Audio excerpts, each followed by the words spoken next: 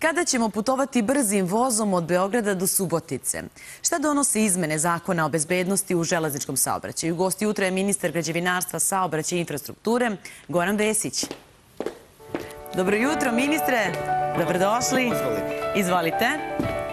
Hvala. Vi ste nam prvi gost na rođendan prve. E sad... Naravno. Pa da. Srećan rođendan. 14.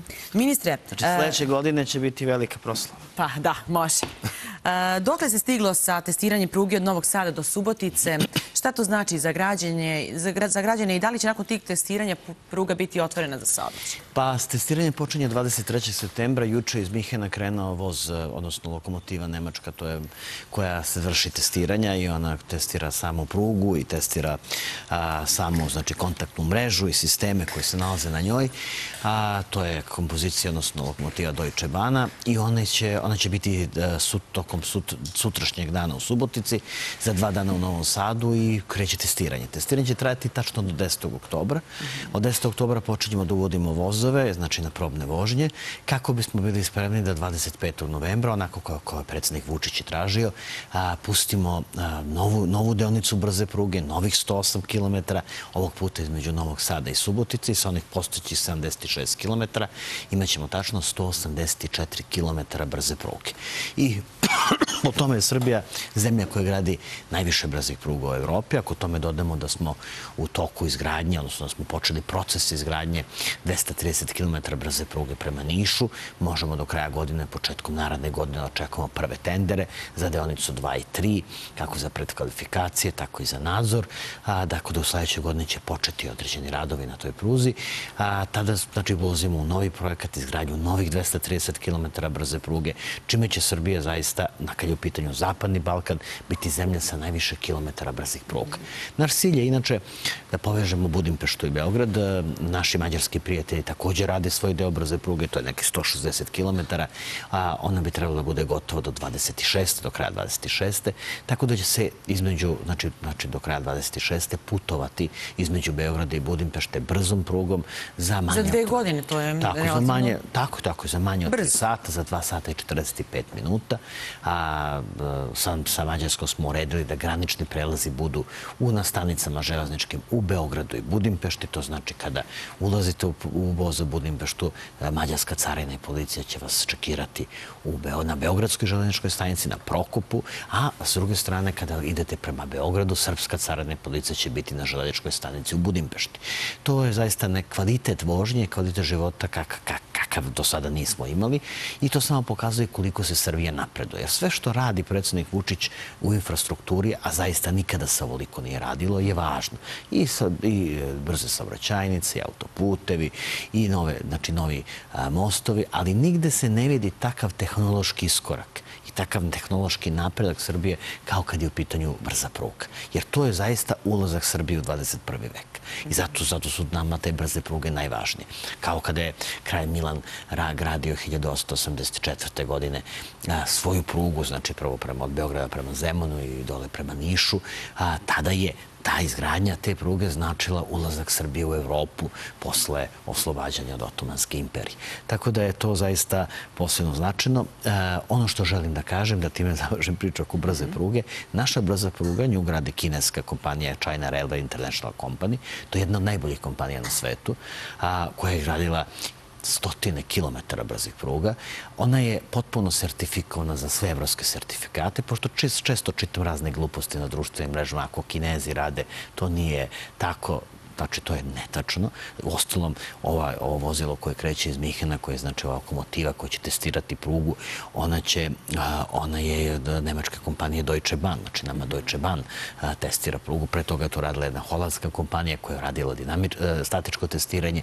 Tako da je potpuno imamo apsolutno sve evropske sertifikate i našu prugu mogu da koriste svi evropski vozovi. Mi smo kupili među vremenu pet brzih vozova kineskih koji su fantastični, bolji su od svih koje, koje, koje koje, koje imamo i koji sa prvi voz je stigo već u maju i on se nalazi sada već u Pragu godinu dana na sertifikaciji kako bi bio sertifikovan prema svim evropskim pravilima. Da, o tome smo i pričali. Tako, jer će naši vozovi naravno voziti širom Evrope. Pominjali ste 25. novembar kao um, rok uh, i predsjednik Aleksandar Vučić najavio da će ovom prugom prvi putnički voz krenuti baš tog datuma. Da li to znači da će svi građani moći da se tog dana voze ovom železnicom? Tako je, mi ćemo krenuti od tog dana sa, sa voznim redom, objavit ćemo naravno ranije vozni red, početi da prodajemo karte, tako da će od tog dana građanki i građani moći da putuju u brzi voz među Beograda i ste. A, koliko će vozova dnevno saobraćati na ovoj pruzi? Pa imate tu informaciju? Po- po- prvi voz kreće u 5 sati, poslednji u 23 sata. A, Radit ćemo tako, znači svaki a, imat ćemo dve vrste vozova. U jednom satu će ići vozovi koji samo staju u nekoliko stanica, znači Beograd, Novi Sad, Bačka Topola i Subotica, Vrbas pre toga, izvinjavam se. A u drugom satu će vozovi koji će stajati na svih 12 stanica. Tako da to vam je kao sa ovim vozovima koji idu prema Novom Sadu. Tako da ćemo i za sada, znači za, to, za održavanje tog reda vožnje nisu nam potrebni novi brzi vozovi, znači možemo da održavamo i sa postojećim vozovima. Kada stignu novi brzi vozovi kineski, odnosno kada budu pušteni u saobraćaj, tada ćemo moći da imamo više polazak ovih brzih vozova, a umeđu vremenu će proraditi linija do Budimpešte, tako da je to, tako da su nam zato ti drugi vozovi potrebni. E, koliko će dugo trajati putovanje ovom prugom i znali se možda već sada cena karte? Cena se još uvek ne zna, ali Beograd-Subotica će trajati se, znači, sat i 10 minuta. E, pa brzo će se Pa stizati. naravno će, da će se brže. U svakom slučaju budite sigurni da će cena karte biti niža nego što je cena karte a, u autobusu, jer i sada kada pogledate Beograd-Novi Sad, niža je cena karte voza. Pa da, pričali smo o ceni karte Beograd-Bar, da je takođe e, poprilično pristupačna. Pa jeste pristupačna, nas čeka rekonstrukcija te pruge i mi smo uradili projekat. Mi smo uradili rekonstrukciju pruge od Valjeva do Vrbnice, od, Vrbnice, od Valjeva do Resnika do Valjeva i sad nas čeka rekonstrukcija pruge od Valjeva do Vrbnice. To je skoro 210 km. To je naš deo pruge Beograd-Bar. Ja sam kada je nedavno bila u poseti Crnogorska ministarka saobraćaja ovde, dogovorili smo se da Srbija i Crna Gora zajednički konkurišu prema fondovima Evropske unije za rekonstrukciju te pruge, kako onog crnogorskog dela, tako i srpskog dela. Pruga Beograd-Bar je jedna od zaista najzahtevnijih pruga u Evropi dan danas, iako je građena 70. godina prošlog veka. I e, kada budemo nju rekonstruisali, to će značajno biti i za Srbiju i za Crnu Goru. Naravno, mi nastavljamo, i to želim da kažem, malo sam ovde video dopisnika iz Niša, vidim da vozi trotinet, ali, ali e, da, da... To je neki moderni skejt. Nastavljamo skejt, aha. Da, da. Nastavljamo da radimo, nastavljamo da radimo pruge širom Srbije. Mi trenutno radimo e, prugu Sobovica, Lužnica, to je u Kragujevcu, prema industrijskom e, zoni. Radimo obilaznicu oko Niša koja je veoma značajna, to je, to je isto, istorijski san Niša su radi obilaznica, da se izmesti pruga iz centra Niša. Radimo rekonstrukciju pruge Niš-Dimitrovgrad i ono što želim da kažem, to je kada budemo radili rekonstrukciju pruge brzu prugu između Beograda i Niša, neće biti zaustavljan saobraćaj, kao što se je bio zaustavljen među Novog Sada i Subotice i Beograda i Novog Sada. Zato što to ne smemo sebi da dozvolimo jer smo izgubili železnički saobraćaj. Radit će se u prozorima, kao što se sada radi Niš Dimitrovgrad, mi radimo 36 sati, pa 36 sati prolaze vozovi, tako, tako se rekonstruiše pruga, tako će biti rekonstruisana pruga i Beograd, e, Beograd Niš za, za ove brzine od 200 km. Dobro, to je jako važno zbog e, svih e, građana koji putuju. E, e, najavljivali ste nedavno da ćemo se u budućnosti brzim prugama voziti do Budimpešte. Rekli ste do 2026, do kraja 2006 to odrečekujete, do Skoplja i Soluna. Jeste, to je nešto što je važno. Ja čekam da bude izabrana nova Evropska komisija, pošto vidim da je kandidat za komesara za saobraćaj Grk. Mislim da će nas dobro razumeti.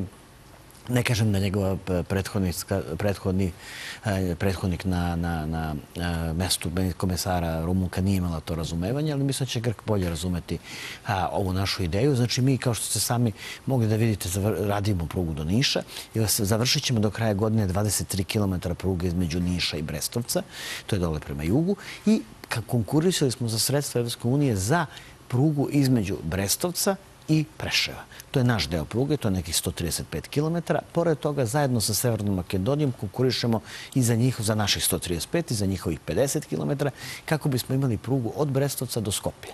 A, kada je nedavno premijer Mitsotakis dolazio u Beograd u posetu predsedniku Vučiću, tada je bio sa njim i ministar transporta Stajkuras. Razgovarali smo o tome da Grčka krene u projektovanje svoje brze pruge od Soluna do Idomenice.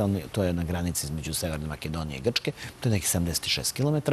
Oni već rade rekonstrukciju postojeće pruge između Soluna i Atine. To znači da ostaje samo da se poveže Skoplje sa Idomenicom i mi imamo 1520 km brze pruge između Budimpešte i Atine. I to je kičma Zapadnog Balkana i to donosi napredak i Mađarskoj, i Srbiji, i Severnoj Makedoniji, i Grčkoj. Naravno, najduži deo te pruge će ići kroz Srbiju, tako da, tako da će tada naše brze pruge imati potpuno pun značaj, jer ćete sa tom brzom prugom moći da idete do Budimpešte, i do Skoplja, i do Soluna, i do Atine i na taj način, kažem, Zapadni Balkan će imati svoju brzu prugu koju nikada nije imao i to je nešto što će, kažem vam, potpuno promeniti način, način razvoja svih ovih zemalja koje se nalaze na brzu. Sigurno da hoće. Evo što je još interesantno. Govorili ste nedavno da ste planirali tender za rekonstrukciju Luke Prahovo kod Negotina. Kreće narednih dana, ja se ja očekujem. I tamo sad, trenutno je Luka Prahovo popularna, tamo vadimo one nemačke brodove mm iz drugog svetskog da, rata. Da. Onda je 21 brod, već smo ih nekoliko izvadili, ali sada kreće e, rekonstrukcija Luke Prahovo, narednih dana će biti raspisan tender. Za nas je veoma važno, za nas je veoma važno da, da uredimo naše luke iz vrlo jednostavnog razloga što je Srbija druga zemlja u ovom, znači u Dunavskom regionu, ako pogledate količinu pretovarenog tereta, znači mi imamo oko 16 miliona tona. I sad, da razvojem kapaciteta naših luka možemo da budemo iznad Rumunije i da možemo da budemo prva zemlja. A to zahteva da naše luke preuredimo, da im povećamo kapacitete, da ih bolje povežemo sa železničkim saobraćajem i da napravimo od njih prave moderne terminale koje mogu da se koriste a, za, za pretovar tereta. Luka Prahova ima potencijal za to? Ima kako da ne. Tamo se nalazi hemijska industrija Prahova, tu odatle Bor izlazi svoju robu, tako da i tekako ima, ima potencijal. To je, to je istorijska luka. Još u 19. veku su se bit, bitke i interesi slamali na, to, na toj luci. Ono što želim da kažem, mi ćemo brzo raspisati tendere za rekonstrukciju luke Sremska Mitrovica i očekujemo da to će, to će biti zajedno sa Evropskom investicijom bankom. O luku Prahova radimo iz svog budžeta, a očekujem da ćemo u narednom periodu raspisati e, i tender za rekonstrukciju luke Bo, Bogojevo. A, to, kad kažem naredni period, mislim na sledeću godinu. Ono što malo pre nisam rekao, to je da je juče na vladi Srbije usvojen uh, nacrt zakona o bezbednosti železničkog saobraćaja. Mm -hmm. Šta znači taj? Uh, pa da vam kažem ovo da prevedem na srpski, uh, osim što je taj zakon sada potpuno us, usklađen sa svim propisima Evropske unije, jer mi u železničkom saobraćaju smo potpuno usaglašeni sa svim evropskim propisima. Ono što važno je što najviše donosi no promenu kad su u pitanju građani, sve pruge koje su brzine, na kome se vozovi voze preko 100 km na sat, u buduće će morati da imaju zaštitne ograde, što će u, u mnogome povećati bezbednost iz prostog razloga što više neće moći da se prelaze pruge tako lako i sačuvaće se mnogi životi, a to je moguće i na prugama da se vozi, vozi sporije ukoliko naravno upravljač pruge to odluči, da ukoliko smatra da to neophodno da se postoje. Sada to nije bilo moguće, to sada uvodimo, kao što će u svim naseljenim mestima te ograde koje su služe za bezbednost biti istovremeno zaštita od buke, jer to je takođe naša obaveza prema zakonu o buci, tamo gde pruga ide kroz naseljeno mesto, da budu postavljene barijere kao zaštita od buke. Tako da je to, ako me pitate koje, šta će građani vidjeti kad je u pitanju ova promena, to je, a, to je možda najvažnije. Jeste, kako ne. I svakako će doprineti do očuvanju, tako, da se čuvaju životi, jer imamo stalno neke, ne mislim stalno, ali s vremena na vreme desi se incidenti koje ne možemo i da objasnimo. Kako tako je, tako da brzo kreće, brzo kreće Luka, Luka Luka Prahova. Železnički prelazi svi su obezbeđeni? Pa kažem, železnički prelazi, e, na tome se bavi infrastruktura železnička, ali moram da vam kažem, od 2008. godine, od kada se, od kada se vodi statistika nesreća na prelazima, Srbija ima preko 2000 železničkih prelaza, a na 442 prelaza se dogodila makar jedna nesreća. Pričamo o periodu od 2008. do 2024. godine. Od čega se na 19 prelaza se dogodila više od pet nesreća, a na nekih 67 prelaza, ukupno računajući ovih 19, se dogodilo, dogodilo dogodilo više od tri nesreće.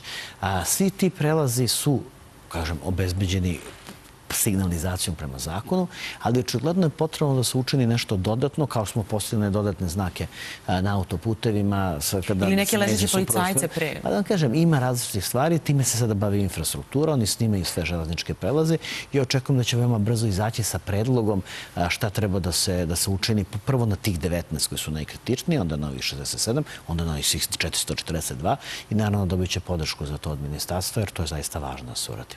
Jasno. Ministre, hvala vam na izdvojenom Hvala vama vremenu. što ste me Imamo i narednu temu.